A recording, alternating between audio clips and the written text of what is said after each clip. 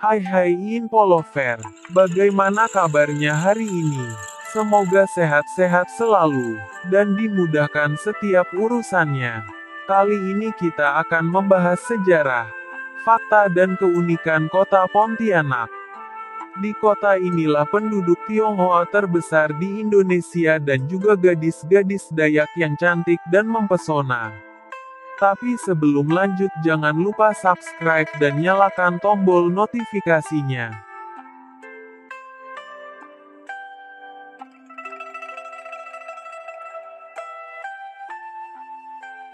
Katulistiwa Kota Pontianak, Kalimantan Barat setiap dua kali dalam setahun. Hari tanpa bayangan tersebut terjadi pada 21 sampai 23 Maret dan 21 sampai 23 September. Di tahun 2021, Hari Tanpa Bayangan digelar secara terbatas dengan mendirikan telur-telur secara tegak di kawasan tubuh Katulistiwa. Telur-telur tersebut berdiri tegak tanpa bayangan. Konon siapa pun yang berada di garis katulistiwa saat fenomena kulminasi matahari, dipercaya akan awet muda.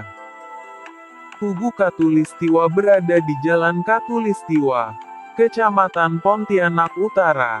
Tugu ini dibangun pada tahun 1928 oleh astronom dari Belanda.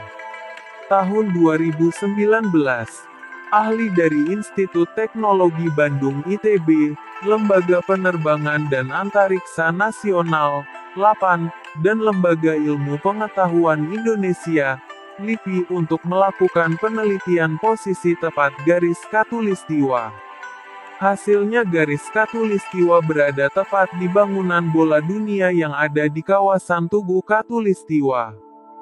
Kota Pontianak dilalui Sungai Kapuas sungai terpanjang di Indonesia dan Sungai Landak yang membelah kota yang dikenal dengan nama kota Katulistiwa. Lalu dari mana asal-usul nama Pontianak? Dikutip dari buku asal-usul kota-kota di Indonesia Tempo dulu yang ditulis Zainuddin HM nama Pontianak tak lepas dari kisah hantu kuntilanak yang selalu mengganggu Sultan Syarif Abdurrahman Al-Qadri. Sultan Syarif Abdurrahman Al-Qadri lahir pada tahun 1142 Hijriah atau 1729 atau 1730 Masehi. Ia adalah putra dari Al-Habib Husin seorang penyebar ajaran Islam yang berasal dari Arab. Sultan Syarif Abdurrahman Al-Qadri adalah pendiri serta menjadi sultan pertama di Kerajaan Pontianak.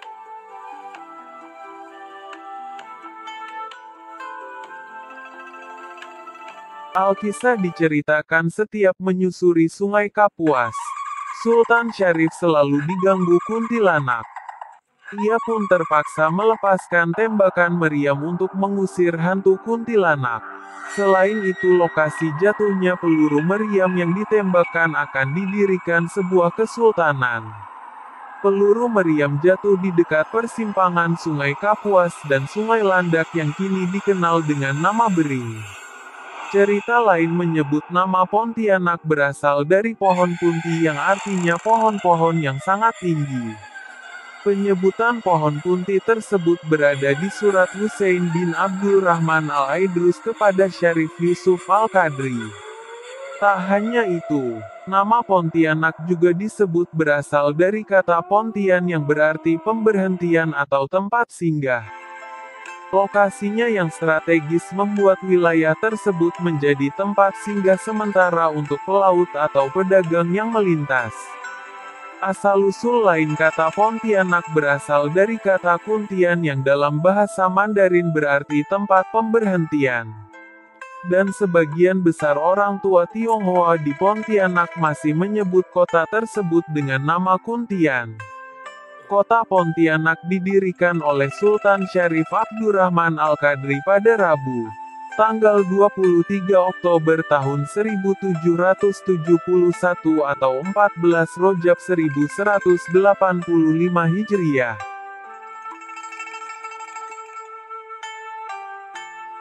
Inilah fakta menarik dari kota Pontianak. Pontianak adalah ibu kota Provinsi Kalimantan Barat Indonesia. Kota ini dikenal sebagai kota Katulistiwa karena dilalui garis Katulistiwa. Selain itu, kota ini juga memiliki julukan sebagai kota seribu parit dan Pontianak kota bersinar. Kota ini memiliki luas wilayah 107,82 km persegi. Dengan penduduk pada 2021 berjumlah 672.440 jiwa. Wisata Pontianak Pariwisata Kota Pontianak didukung oleh keanekaragaman budaya penduduk Pontianak, yaitu Dayak, Melayu, dan Tionghoa. Suku Dayak memiliki pesta syukur atas kelimpahan panen yang disebut gawai. Masyarakat Tionghoa memiliki kegiatan pesta tahun baru Imlek, Kep Gomeh, dan perayaan sembahyang kubur Cheng Beng atau Puo Chiet, yang memiliki nilai atraktif turis. Kota Pontianak juga dilintasi oleh garis Katulistiwa yang ditandai dengan Tugu Katulistiwa di Pontianak Utara. Selain itu, Kota Pontianak juga memiliki visi menjadikan Pontianak sebagai kota dengan pariwisata sungai. Beberapa destinasi wisata favorit di Pontianak di antaranya adalah Museum Negeri Sejarah Budaya Khas, Keraton Kadriah, Masjid Jami Pontianak, Kampung Wisata Kuantan, Pantai Pasir Panjang, Paradise Ski Water Park dan Taman Alun Kapuas. Hey there. Subscribe to my channel. And also press this bell icon. Kalau kamu masih bingung cari tempat wisata menarik, inilah 7 tempat wisata yang wajib kamu kunjungi saat berada di kota Pontianak. 1.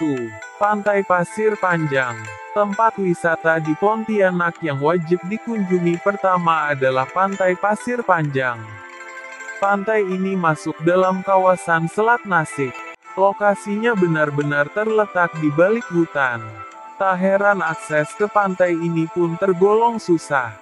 Jika kamu ingin singgah ke pantai ini maka kamu perlu berjuang keras untuk sampai di tempat ini. Hal yang unik dari pantai ini adalah pasirnya bertekstur keras yang tak dapat kamu temui di pantai lainnya. Di sini kamu juga akan menyaksikan hamparan pasir putih. Cocok untuk foto dan mengisi feed Instagram kamu. Tiket masuk pantai ini juga murah meriah cukup dengan 10.000 pada weekdays dan 20.000 untuk weekend. 2. Taman Nasional Gunung Palung Tempat wisata di Pontianak lainnya adalah Taman Nasional Gunung Palung yang diperkirakan memiliki luas kurang lebih 90.000 hektar.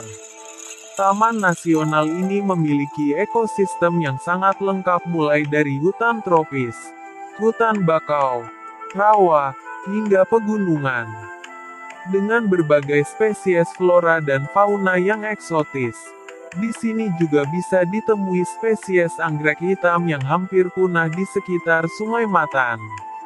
Tempat wisata di Pontianak ini terletak di Padu Banjar, Simpang Hilir, Ketapang, Kalimantan Barat.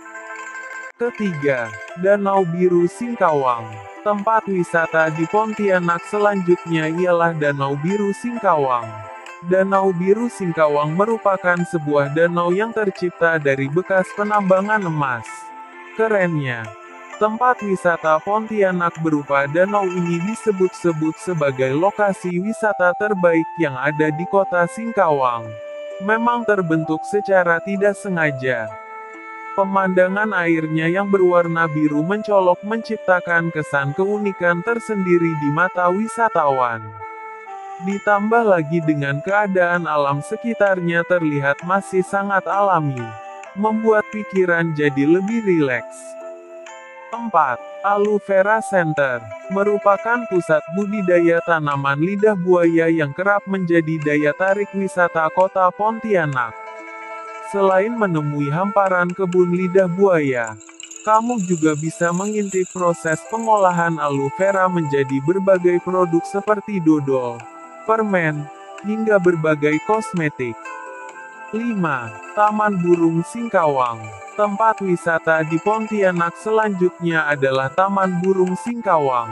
Taman ini kerap digunakan oleh masyarakat sekitar untuk dijadikan tempat bersantai di kala sore hari. Taman ini kerap disebut warga sekitar sebagai Taman Mes Daerah, sebab letaknya berdekatan dengan Mes Daerah Singkawang. 6. Katulistiwa Park Tempat wisata di Pontianak yang wajib dikunjungi ialah Katulistiwa Park. Katulistiwa Park dapat dikatakan adalah ikonnya Pontianak. Letaknya tak terlalu jauh dari pusat kota Pontianak. Kira-kira 3 km aja. Di sini kamu bakalan dapat banyak informasi penting tentang sejarah pembangunan tugu tersebut. 7. Keraton Kadariah Tempat wisata di Pontianak yang satu ini dibangun pada tahun 1771 hingga 1778. Pada saat kepemimpinan Sayyid Syarif Abdurrahman Al-Qadri menjadi sultan yang pertama tinggal di keraton tersebut. Lokasinya tepat di pinggir sungai, tepatnya di Jalan TJ Raya 1, dalam Bugis, Pontianak. Keraton Kadaria memiliki struktur bangunan unik dengan warna cat kuning berukuran sekitar 30 x 50 meter dan terdiri dari tiga lantai. Kentalnya sisi historis bangunan dibuktikan dengan masih banyaknya benda-benda bersejarah seperti kursi singasana, baju kesultanan, tombak penobatan, cermin seribu, dan masih banyak lagi. Di bagian luar bangunan keraton ada meriam kecil berjumlah 13 yang dibuat oleh Prancis dan Portugis. Untuk masuk ke tempat wisata ini kamu cukup membayar Rp7.000. Kemudian mall besar yang ada di kota Pontianak. 1. Matahari Mall. Lokasi di Jalan Jenderal Urip Sumoharjo nomor 1 Kecamatan Pontianak Kota tidak jauh dari Stadion PSP. Kedua, Mall Ramayana, terletak di Jalan Tanjung Pura, Kelurahan Benua Melayu Laut, Kecamatan Pontianak Selatan, tidak jauh dari Jembatan Kapuas 1. Ketiga, Aryani Mega Mall, alamat di Jalan Jenderal Ahmad Yani nomor 4, Kelurahan Paritokaya, Kecamatan Pontianak Selatan tidak jauh dari Bundaran Tugu di Gulis dan Hotel Mercure. Keempat, Transmart Carrefour Kuburaya, terletak bersebelahan dengan Bundaran Kodam. Jalan Arteri Supadio, Kecamatan Sungai Raya, Kabupaten Kuburaya. Selain itu kota Pontianak juga sudah memiliki bandara internasional. Jadi bisa mempermudah buat kalian dari luar kota ataupun luar pulau jika ingin berlibur ke kota ini. Bandara ini adalah Bandar Udara Internasional Supadio. Terima kasih sudah nonton dan support channel ini. Semoga bermanfaat dan bisa menambah pengetahuan. Sampai jumpa di video berikutnya.